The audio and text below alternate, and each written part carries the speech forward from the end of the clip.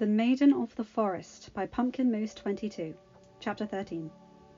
The manor was quaint, the objects inside proclaiming that those who lived here lived comfortably. The trinkets and various objects scattered about caused Kit to surmise the lady of the house may be in the trade business. Walking into the dressing room, Kit couldn't help but sense that the dwelling was a little underkept, just like the outside. The floors were swept and the places had been dusted, but cobwebs were still just visible in the corners, almost as if the housekeeper had neglected to remove them. The grand rug on which he now stood was faded and old, but the pattern was rather attractive. Roses a dull pink and the grey vine, green vines a greyish green. Kit listened as the singing continued to fill the house. It sounded as if it was coming from the attic. Lavender's green, dilly dilly, lavender's blue. You shall love me, dilly dilly, for I love you. The singing stopped. Kit surmised the captain had found where the girl was. His heart began to pound in his chest. He had taken the shoe from the pillow a footman was holding when he went inside.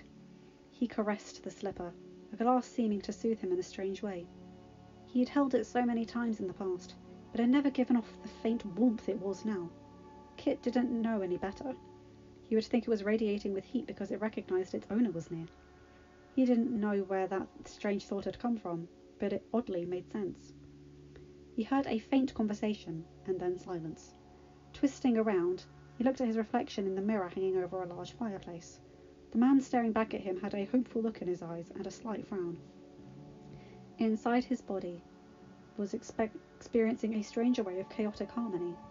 While his heart was pumping uncontrollably, his stomach was churning uncontrollably. And then everything stopped as his ears picked the shuffle of soft steps on the rug. He twisted, his eyes landed on the reflection of a girl in the mirror, and he twisted around. Her blue dress was covered in dirt, particularly at the bottom, and her pale skin seemed to be lightly caked in ash. Her blonde hair was pulled back into a messy braid, stray pieces hanging out everywhere. Her appearance was definitely not one of a princess, but of a servant. She had looked worse for wear, covered in dirt and dressed in rags, her brown eyes large, displaying to Kit even though she was putting on a brave face, inwardly she was petrified. Even so, that didn't deter her from smiling and dipping into a gracious curtsy. Despite the drastic change in her appearance, Kit recognized her immediately. Who are you? he implored, hoping that now, after everything, she'd finally tell him what he'd been desperately longing for. I am Cinderella, she said confidently, her eyes never leaving his. Finally, he had a name! Strange as it was, Kit couldn't help but feel relieved. Your Majesty, she breathed. I am no princess. That much was obvious, but Kit didn't care about titles. He could only think how gorgeous she was as she walked towards him. She continued, I have no carriage, no parents, no dowry. I do not even know if that beautiful slipper will fit. Kit grinned at this, for he knew it he would. Why would it not?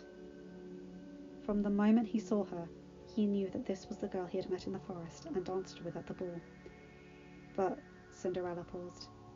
If it does, will you take me as I am, an honest country girl who loves you? Kit's heart swelled to nearly bursting. Of course I will, he said without a hint of hesitation, but only if you will take me as I am, an apprentice still learning his trade. She smiled, and Kit couldn't help but think it was the most adorable expression in the entire world. Only she could understand the little reference, and he was happy to see her aunt dance a bit from it. Please, he invited, offering her to take a seat in the nearest chair beside him. Bowing her head, she gingerly walked over and sat as requested. Kneeling down, Kit took a hold of her ankle. She sucked in her breath as the connection of their skin caused both of their souls to quake. Kit slipped the shoe without any restrictions, the glass custom made for her foot as he knew it would be. The warmth of the shoe relaxed as it encased her foot, the second confirmation to him that it recognized its owner. Cinderella smiled down at him, and he smiled up at her, his whole soul purring in contentment. He stood, helping her to her feet. He vaguely noticed that her hands were rough and coarse, unlike they had felt at the ball. but her beauty was just as enchanting as it had been on that night, and instinctively he wrapped his fingers around the base of her neck, the desire to kiss her consuming him. He bent down to claim her lips. Bang! The two pulled apart just before their lips could touch, as shouts echoed from the hallway. Cinderella! A young woman shouted in the hall entranceway. Ella! My dear sister! I'm sorry. So sorry, her companion said.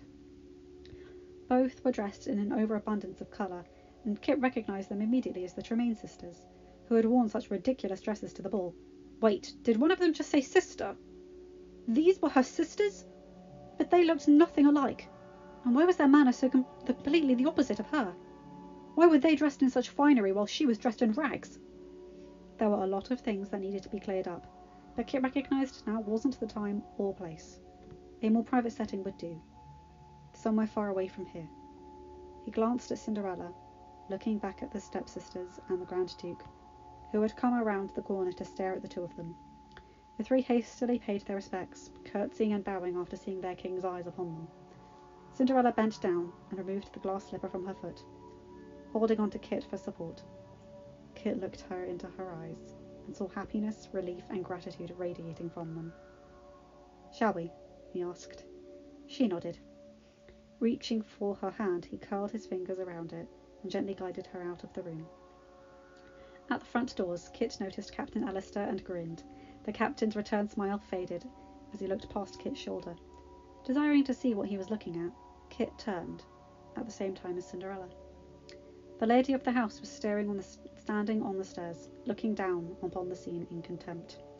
A vast amount of pressure filled the entire room, as Cinderella stared up at the woman with unblinking eyes. Kit could tell a silent conversation was being held, like a battle on its last leg, about to be determined by two very strong opponents. And then Cinderella said, I forgive you. The pressure snapped as she returned her back on the woman, gently guiding Kit out of the house. Bewildered as well as suspicious as to what might have just taken place, Kit gently squeezed her hand. She squeezed back. The royal guard couldn't contain their grins at the sight of the king emerging hand in hand with a woman holding the glass slipper. Some even cheered. Kit couldn't help grinning over their antics. Victor, he called. The man turned his horse around out of the gathered formation. Yes, your majesty? Please return to the palace and send for a carriage at once. Kit ordered. Let them know what has taken place here.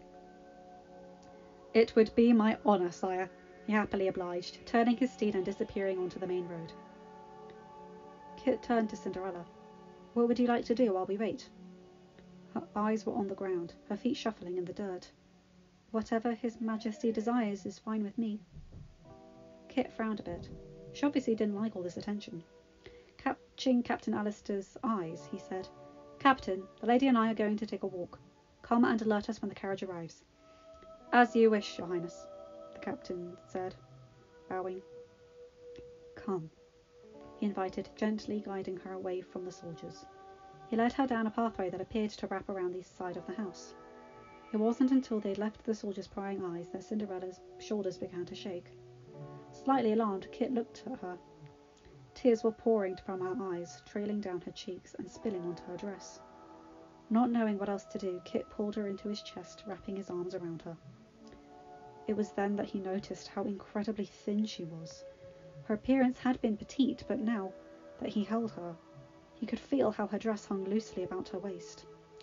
The shaking of her body reminded him of a trembling leaf, thin, fragile, and capable of breaking under too much pressure. Her hand still clasped the slipper, which was now against Kit's chest, but he didn't care how uncomfortable it was. The shoe had brought them together, and it was obvious to him that from the way she clung to it it was just as important to her as it was to him. Her forehead rested against his shoulder, and she cried. Kit lifted his hand and stroked her golden hair. Though covered in ash, it was soft to the touch. What on earth had she been through? He wondered. Why was she so frail and filthy? I'm sorry, she gasped, suddenly pulling out of his embrace. I lost control of myself. Oh, um, I've made a mess of your jacket. Kit looked down at his chest, which was indeed dirty. It doesn't matter, he said, looking back up at her tear stained face. He reached out, stroking his thumb across her cheeks. What matters is that I have finally found you. She let out a strangled sob, her tears redoubling. Yes, but. She pulled away from him and started walking towards the stone courtyard at the back of the house. Kit followed after her, unwilling to let her out of his, his sight again. She paused with her back to him after passing through a stone arch. Now that you've found me, I can't help but think you will see me differently, she confessed in a strangled whisper. Kit couldn't believe that she would think of him to be so shallow. Cinderella, how could I ever see you differently when I love you? She turned around. What? she breathed, her wide brown eyes searching his face. Kit smiled, shaking his head. My dear lady, you have enchanted me since the moment I met you back in the woods. You were positively stunning that night of the ball. But the person I fell in love with was a good, honest country girl. I told you I would take you as you are, and I mean that. And to show you that I mean that, I will ask you now, in this charming, slightly untended garden, something I have been longing to ask for a long time. Taking her coarse hand, he got down on one knee. Will you, my precious, darling Cinderella, take me as I am, an apprentice still learning his trade, and marry me? He looked up into her face, his whole soul displayed openly before her. He had placed himself on the line, kneeling before her, pleading for her to accept him. He prayed she could see the conviction of how much he needed her. He waited on bated breath, his heart slamming against his chest, as he watched her search his eyes for an unknown measure of time. Of course I will, Mr. Kit, she gasped, her face lighting with joy. Elation propelled Kit to his feet. Grabbing her waist, he lifted her into the air, twisting her around. As she laughed, her voice echoing across the grounds, and Kit's men shared warm smiles from the noise. Kit set her down for a moment later and embraced her. Pulling apart just enough to cup her cheek, he searched her eyes.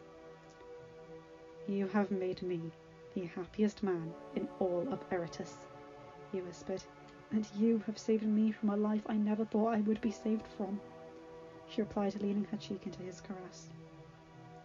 Searching her face, seeing how beautiful she was, Kit held, beheld her with tenderness. Leaning forward, he closed his eyes. A small, excited breath escaped him, and then her lips met his. They were smooth, soft, and tasted like strawberries, their shape and mould fitting against his in perfect harmony. This was his first kiss, and was therefore taken with delicate care, being soft and gentle. He pulled away from her, searching her eyes. They were dancing, both displaying a slightly embarrassed grin, and a light giggle escaped from Cinderella as she bit her lower lip. Kit found her positively adorable. I love you, Cinderella, he muttered. Another slight giggle escaped her. Ella. I'm sorry? My name is really Ella, she empathized. Kit quirked his head a little. Ella? That is a little different from Cinderella, don't you think? Ella blushed slightly. Before she could respond, there was a series of squeaking at their feet. Kit watched in wonder as Ella's entire expression filled with pure delight, and she stooped down. Hello there, she laughed, addressing, to Kit's astonishment, four mice. The little creatures let out several excited squeaks, scurrying around. One of them, large and brown, had a chunk of what appeared to be cheese in his mouth. Ella chuckled. Gus, Gus, I find it hard to understand you when your mouth is full. Ella's Kit's eyes widened when he spotted one of the mice, a white one with a few brown spots, swat the one carrying the cheese as if to reprimand him.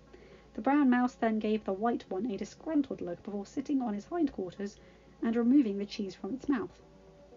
Squeaking, it addressed Ella, who nodded back. I see. Thank you so much, Gus Gus. They wouldn't have been able to open the window without you and Kit never would have found me if you hadn't. I beg your pardon? Kit asked, unable to contain his curiosity any further. Kit fo- Ella finally remembered herself. Gasping, she her face turning to tomato red, she leapt up. Oh my gosh, um, I that is. She shuffled her feet, unable to meet him in the eye. Your Majesty, these are my friends. Kit blinked a couple of times and then looked down at the mice that looked up at him with just as much curiosity. Your friends, you say? he asked, bending down so he could get a better look at them. Do they have names? A surprised reply came from Ella as she crouched down. Um, yes. This is Jacqueline, Gus Gus, Matilda, and Teddy. A pleasure to meet all of you, Kit said, and to his shock, the mice bowed. They know you're the king, Ella explained. I told them all about you. Did you now? And what was this about them opening a window?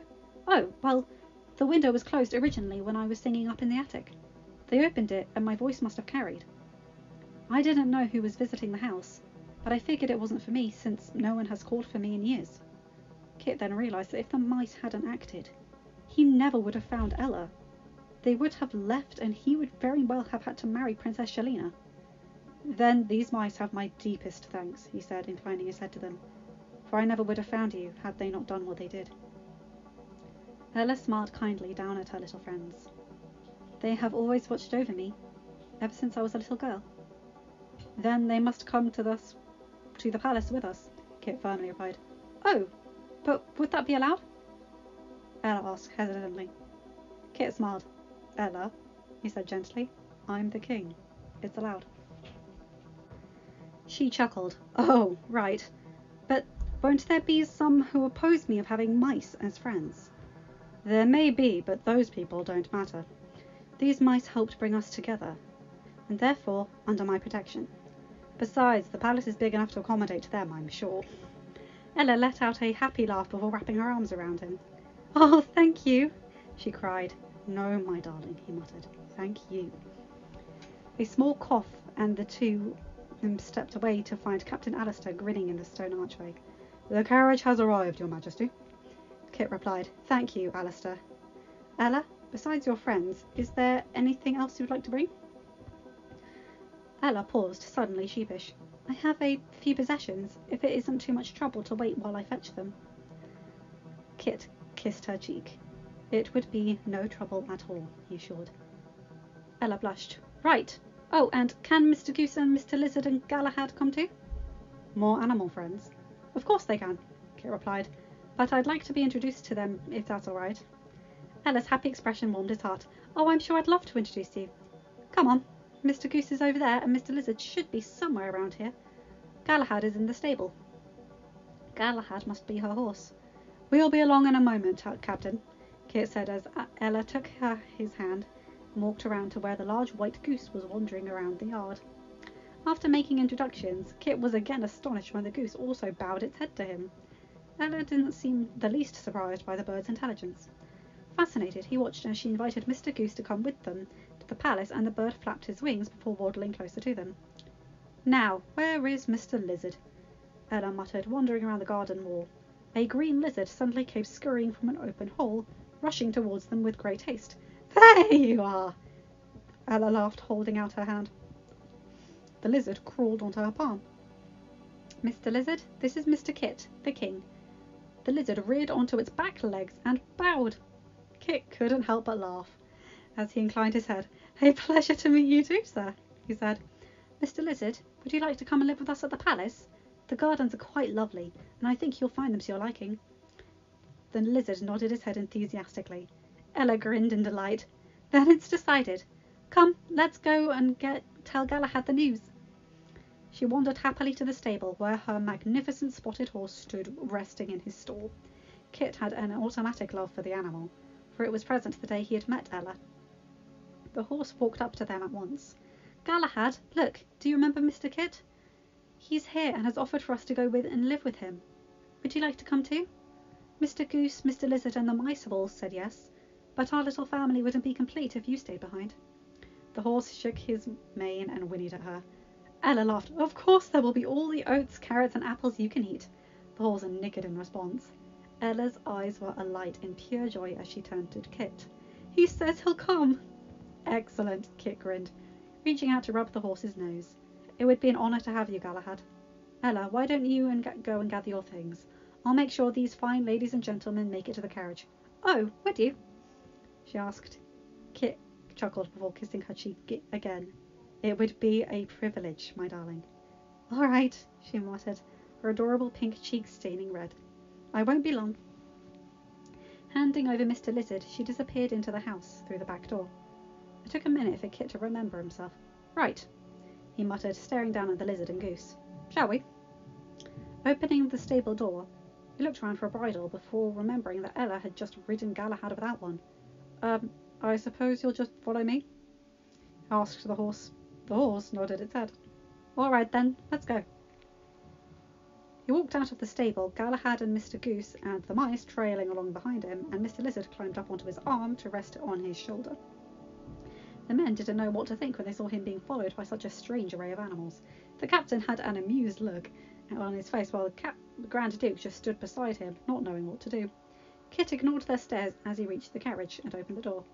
Mr. Lizard ran down his sleeve before disappearing inside, while the mice climbed up the wheels, following suit. Gus Gus having a harder time than the others, but still managing to keep up. Mr. Goose flapped his wings to give him a boost, flying inside with several squawks. Kit turned to find Galahad staring behind. I am afraid the carriage isn't big enough for you, my friend, he said with a slight smile. Galahad shook his head before returning to wait for Ella on foot. Captain Alistair walked over to him and cleared his throat. Um, sire, you do realise you just let a goose get inside the carriage? A large smirk appeared on Kit's face. Yes, Captain, I am well aware. Captain Alistair didn't know what else to say, so he shut his mouth and nodded to himself. It took everything Kit had not to laugh. His men probably thought he was going mad. Ella reappeared in the entrance of the house with a small box in hand. Kit couldn't believe that was all she had. He had been expecting at least a bag of some sort, but she carried all that she carried was that tiny wooden box. He watched as she paused to stroke her hand against the door frame, a sad expression clouding her ashen face. The men were drawn to her presence as well, all beholding the girl who was to be their queen with silent interest all except the Grand Duke, who looked upon her in contempt. Kit frowned. Something was going to have to be done about him, but that didn't. But that matter could be attended to later. Walking up the path, he held out his hand. Ella, my darling, shall we? Ella's sad countenance changed dramatically, her face practically glowing as she happily took his hand in hers. Please, she muttered. Kit helped her into the carriage. A moment, my lady, if you please. Of course, she said. He shut the door and motioned to Captain Alistair. I don't want those women left unattended in that house. Something more is going on here, and I'd like to get to the bottom of it without running them running off somewhere should justice need to be involved. Agreed, Captain Alistair said. Kit, they had her locked up in the attic. The woman said she was her mother, but the girl denied it. Then the lady called her a wretch. Captain, Kit scowled. If I had my way, I would interrogate them all this instant. But now is not the time. I want some of the men to stay behind. Give the order. What of the Grand Duke? Kit glanced over at the man who was staring at them, unable to hear their words but fearing them anyway. He will ride back to the palace with us, and I will personally deal with him. I'll see to it that he remains, that he makes it there. Captain Alistair promised. Kit grasped his shoulder. Thank you, my friend. The captain grinned. A pleasure, sire. Now you best get in that carriage before your lady friend magically disappears. Hmm? Frightened by this prospect, ha- Kit hastened to the carriage, while Captain Alistair laughed lightly behind him. He needn't have worried though, for Ella was still sitting there, sit- sitting with her box of keepsakes on her lap, surrounded by her animal friends. Sire, what about the horse? Victor asked, pointing to Galahad. Kit grinned.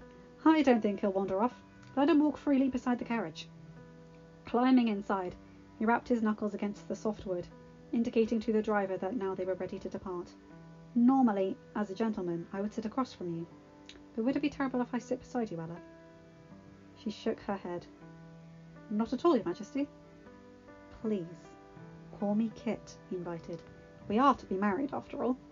Very well, Mr. Kit, she said with a soft grin. Kit smirked. She was playing with him. I am hardly a mister, surely. Ella laughed, her soft voice resounding like the purest resonating chimes. if you say so. Kit, she finally indulged him. Kit's heart took off and he breathed a sigh of pleasure.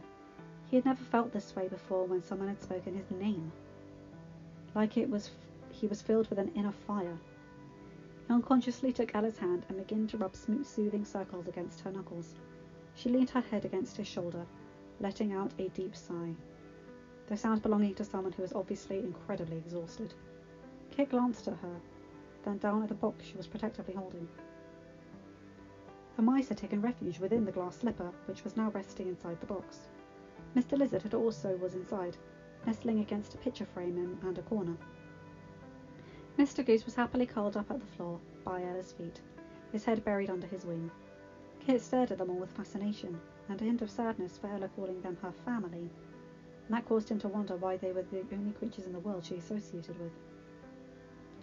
Again, he puzzled over what had been done to her and why she appeared the way she was. He wanted to ask her, but knew the timing still wasn't right. He was called from his thoughts by her timid, sweet voice. If you don't mind me asking, she muttered against him, what happens now? Well, the royal staff will undoubtedly be waiting for us to welcome you. Ella stiffened and she sat up straight. Kit eyed her with concern. What's wrong? Nothing, she said, shaking her head quickly. Ella, he prompted. Her fingers ran along the edges of the box in her lap, and she swallowed, unable to meet his eyes. Usually, I'd be more sure of myself. But what if they don't like me? Kit took her hand. Ella, they will love you. How do you know? Because you are beautiful, courageous, and kind. Simply be you, and I promise you'll be the belle of the palace. She smiled and finally looked over at him. Really? Kit kissed her cheek. Really? They rode in silence for a few minutes, simply enjoying each other's company, before Kit had a terrible thought.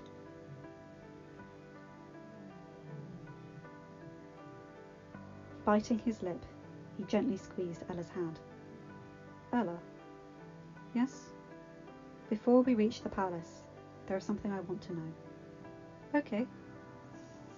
Kit took her other hand before gently covering them between his own. You said you would marry me, but I want to know, is this really what you want? Do you really want to be with me? Of course I do, she said with such firm conviction that he forgot for a moment how frail she was. I want to be with you more than anything. Are you certain? Kit pressed. I am king, Ella, and by marrying you, you will be the queen. Don't misunderstand.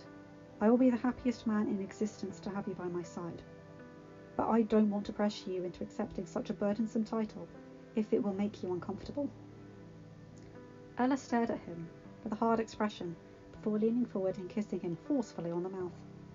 I will wage through anything if it means I can stand with you, Kit, she replied passionately, all her conviction speaking volumes from her eyes. I'll endure the lessons required to refine me into a woman fit to rule by your side, and will do so with courage, kindness, and a willing heart, for you are worth all of the hardships that life can bestow upon me. Kit was temporarily speechless. Such passion he had not been expecting from her, and she was clearly fatigued. Warmth coursed through his soul, and he leaned forward to kiss her again, softer this time, conveying his adoration for her. You astound me, he muttered, softly stroking her cheek. I think I just fell in love with you all over again. Ella blushed deeply. It is a mutual feeling. Kit grinned. Just so. In that case, we shall be the happiest couple in all the world, and the envy of every man in the kingdom, and woman. I hope not, Ella giggled. I would rather be an example than an object of envy, wouldn't you? The lady has a fair point, Kit praised, kissing the back of her hand. You will be the best queen this land has ever seen. I hope so, she muttered. But for now, let's just focus on what's going on today. Right, Kit said, leaning back. Well, like I said, the Royal Guard will want to meet with you, and I suppose we'll have to have a light dinner, and I'll force you to retire for the, for the night. Don't think I didn't notice before, my darling, but you appear to be exhausted. The last thing I want is to make you ill, especially after having to hunt for you for so long. I appreciate your kindness, but what about you? Touched, Kit squeezed her hand gently. There is no need to worry over me, Ella. There are always things to do when you are the king. That caused her to frown. If that is so, won't I be distracting you from your duties? I don't want to be a bother. Kit lifted her chin with his finger before lightly kissing her on the cheek. Ella, if there is one thing I want you to be clear on from here on out, it is that you are never, nor will you ever be, a bother to me. Every, even a king, needs reprieve from his duties. And believe me, you will always be the sunshine of my day. So please do not feel the way you do now. She looked up at him, unshed tears brimming in her deep brown eyes. What have I done to deserve you? Kit smiled at her tenderly, wiping a stray tear that stubbornly decided to fall.